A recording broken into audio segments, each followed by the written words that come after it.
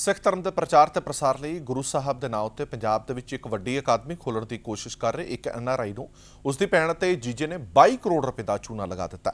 ਪੀੜਤ ਵਿਅਕਤੀ ਨੇ ਇੰਗਲੈਂਡ, ਕੈਨੇਡਾ ਅਤੇ ਅਮਰੀਕਾ ਦੇ ਵਿੱਚ ਰਹਿੰਦੀ ਸੰਗਤ ਤੋਂ ਦਾਨ ਲੈ ਕੇ ਇਹ ਰੁਪਏ ਰੁਪਏ ਇਕੱਠੇ ਕੀਤੇ ਸਨ। ਉਧਰ ਦੂਜੇ ਪਾਸੇ ਪੁਲਿਸ ਨੇ ਇਸ ਮਾਮਲੇ ਦੇ ਵਿੱਚ ਪਰਚਾ ਦਰਜ ਕਰਕੇ ਆਪਣੀ ਕਾਰਵਾਈ ਸ਼ੁਰੂ ਕਰ ਦਿੱਤੀ ਹੈ। ਇਹ ਹੈ ਰਜਿੰਦਰ ਸਿੰਘ ਜੋ ਕੈਨੇਡਾ ਦੇ ਰਹਿਣ ਵਾਲੇ ਨੇ।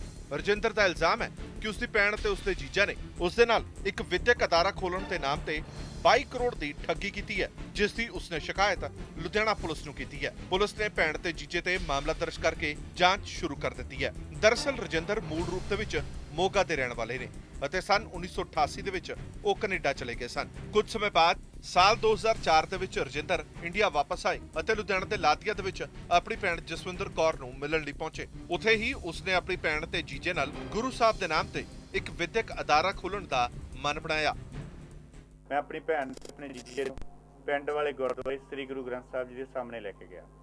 ਕਿ ਤੁਸੀਂ ਆਪਣੀ ਜ਼ਮੀਨ ਸ੍ਰੀ ਗੁਰੂ ਗ੍ਰੰਥ ਸਾਹਿਬ ਜੀ ਨੂੰ ਦਾਨ ਕਰਦੇ ਆ ਉਹਨਾਂ ਨੇ ਕਿਹਾ ਕਿ ਠੀਕ ਹੈ ਅਸੀਂ ਦਾਨ ਦਿੰਨੇ ਆ। ਰਵੀ ਖੋਸਲਾ ਆਰਕੀਟੈਕਟ ਸੀਗੇ, ਉਹਨਾਂ ਨੇ ਸਾਨੂੰ ਅਕੈਡਮੀ ਦਾ ਮੈਪ ਬਣਾ ਕੇ ਦਿੱਤਾ। ਅਕੈਡਮੀ ਲਾਡੀਆਂ ਪਿੰਡ ਦੇ ਵਿੱਚ ਬਣਨੀ ਸ਼ੁਰੂ ਹੋਈ ਲੁਧਿਆਣਾ ਡਿਸਟ੍ਰਿਕਟ ਦੇ ਵਿੱਚ। ਰਜਿੰਦਰ ਦਾ ਕਹਿਣਾ ਹੈ ਕਿ ਉਸ ਤੋਂ ਬਾਅਦ ਉਸਨੇ ਆਪਣੀ ਭੈਣ ਤੇ ਜੀਜਾ ਨਾਲ ਇਹ ਵਾਅਦਾ ਕੀਤਾ ਕਿ ਉਹ ਵੱਧ ਤੋਂ ਵੱਧ ਆਰਥਿਕ ਮਦਦ ਅਮਰੀਕਾ ਤੇ ਕੈਨੇਡਾ ਤੋਂ ਭੇਜੇਗਾ। ਜਿਸ ਤੋਂ ਬਾਅਦ ਸਾਲ 2005 ਦੇ ਵਿੱਚ ਰਜਿੰਦਰ ਵਾਪਸ ਕੈਨੇਡਾ ਪਰਤ ਗਿਆ। ਉਸਨੇ ਕੈਨੇਡਾ, ਇੰਗਲੈਂਡ ਅਤੇ ਅਮਰੀਕਾ ਦੇ ਵਿੱਚ ਇਸ ਸਿੱਖਿਅਕ ਅਦਾਰੇ ਲਈ ਖੁੱਲ੍ਹ ਕੇ ਪ੍ਰਚਾਰ ਕੀਤਾ ਅਤੇ ਸਭ ਤੋਂ ਪਹਿਲਾਂ ਕੈਨੇਡਾ ਦੇ ਵਿੱਚ ਆਪਣੇ ਘਰ ਉੱਪਰ 67 ਲੱਖ 85 ਹਜ਼ਾਰ ਰੁਪਏ ਦਾ ਲੋਨ ਲਿਆ ਅਤੇ ਸਾਰੀ ਰਾਸ਼ੀ ਆਪਣੇ ਭੈਣ ਤੇ ਜੀਜੇ ਨੂੰ ਭੇਜ ਦਿੱਤੀ। ਜਿਸ ਤੋਂ ਬਾਅਦ ਇਸਨੇ ਤਿੰਨਾਂ ਮੁਲਕਾਂ ਦੀਆਂ ਸਿੱਖ ਸੰਗਤਾਂ ਤੋਂ ਕਰੋੜਾਂ ਰੁਪਏ ਦਾਨ ਦੇ ਵਿੱਚ ਇਕੱਠੇ ਕੀਤੇ ਜੋ ਕਿ ਪਿਛਲੇ ਸਾਲ 2015 ਤੱਕ ਉਹਨਾਂ ਨੂੰ ਉਹ ਭੇਜਦਾ ਰਿਹਾ ਹੈ ਤੇ ਰਕਮ ਲਗਭਗ 22 ਕਰੋੜ ਰੁਪਏ ਬਣਦੀ ਹੈ। 22 ਕਰੋੜ 40 ਲੱਖ ਦੇ ਨੇੜੇ ਅਕੈਡਮੀ ਦੇ ਵਿੱਚ ਪੈਸਾ ਪਹੁੰਚਿਆ। ਇਹ ਤਕਰੀਬਨ ਮਹਾਰਾਜ ਦੀ ਬਖਸ਼ਿਸ਼ ਦੇ ਨਾਲ 80% ਪੈਸਾ ਹਵਾਲੇ ਦੇ ਰਾਹੀਂ ਆਇਆ। ਤੇ ਬਾਕੀ ਪੈਸਾ ਅਕੈਡਮੀ ਦੇ ਅਕਾਊਂਟ ਦੇ ਵਿੱਚ ਆਇਆ। ਮੁੰਡੇ ਨੇ ਮੈਨੂੰ ਨਵਜੋਤ ਸਿੰਘ ਨੂੰ ਜਿਹੜਾ ਡਾਇਰੈਕਟਰ ਬਣਾਇਆ ਹੋਇਆ ਅਕੈਡਮੀ ਦਾ, ਉਹਨੇ ਮੈਨੂੰ ਕਿਹਾ ਕਿ ਮਾਮਾ ਜੀ, ਅਸੀਂ ਤੁਹਾਨੂੰ ਡੁਪਲੀਕੇਟ ਰਜਿਸਟਰੀ ਗੁਰੂ ਗ੍ਰੰਥ ਸਾਹਿਬ ਜੀ ਦੀ ਬਣਾ ਦਿੰਨੇ ਆ ਜਿਹੜੀਆਂ ਸਿੱਖ ਸੰਗਤਾਂ ਤੋਂ ਤੁਸੀਂ ਪੈਸਾ ਲੈ ਕੇ ਆਏ ਆ, ਉਹਨਾਂ ਨੂੰ ਡੁਪਲੀਕੇਟ ਰਜਿਸਟਰੀ ਦਿਖਾ ਦਿਓ ਤਾਂ ਕਿ ਸੰਗਤਾਂ ਦੇ ਵਿੱਚ ਤੁਸੀਂ ਸੱਚੇ ਹੋ ਜਾਓਗੇ। ਪਰ ਮੈਂ ਆਪਣੀ ਜ਼ਮੀਰ ਨੂੰ ਜਿੱਦਾਂ ਮਾਰਿਆ ਨਹੀਂ, ਤੇ ਨਾ ਹੀ ਮੈਂ ਡੁਪਲੀਕੇਟ ਰਜਿਸਟਰੀ ਦੀ ਉਹਨਾਂ ਨੂੰ ਕਿਹਾ ਕਿ ਬਣਾ ਕੇ ਦਿਓ। ਉਹਨਾਂ ਨੇ ਅਕੈਡਮੀ ਨੂੰ ਆਪਣੇ ਅੰਡਰ ਰੱਖਿਆ ਹੋਇਆ ਤੇ ਬਿਜ਼ਨਸ ਦਾ ਇੱਕ ਅੱਡਾ ਬਣਾਇਆ ਹੋਇਆ। ਤੁਸੀਂ ਅਕੈਡਮੀ ਦੇ ਵਿੱਚ ਜਾ ਕੇ ਵੀ ਦੇਖ ਸਕਦੇ ਹੋ।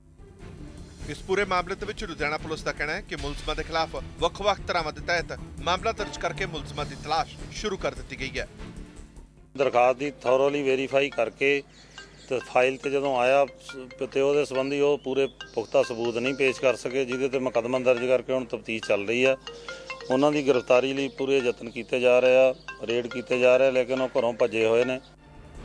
ਇਸ ਮਾਮਲੇ ਦੇ ਵਿੱਚ ਅਤੇ ਇਹਨਾਂ ਇਲਜ਼ਾਮਾਂ ਦੇ ਵਿੱਚ ਕਿੰਨੀ ਕੁ ਸੱਚਾਈ ਹੈ, ਇਹ ਤਾਂ ਪੁਲਿਸ ਦੀ ਜਾਂਚ ਤੋਂ ਬਾਅਦ ਹੀ ਪਤਾ ਚੱਲੇਗੀ। ਪਰ ਫਿਲਹਾਲ ਇੰਨਾ ਜ਼ਰੂਰ ਹੈ ਕਿ ਇੱਕ ਭਲੇ ਦਾ ਕੰਮ ਤੇ ਮਨੁੱਖਤਾ ਦੀ ਸੇਵਾ ਲਈ ਸੋਚਿਆ ਗਿਆ ਉਪਰਾਲਾ ਫਿਲਹਾਲ ਖਟਾਈ ਦੇ ਵਿੱਚ ਪੈ ਗਿਆ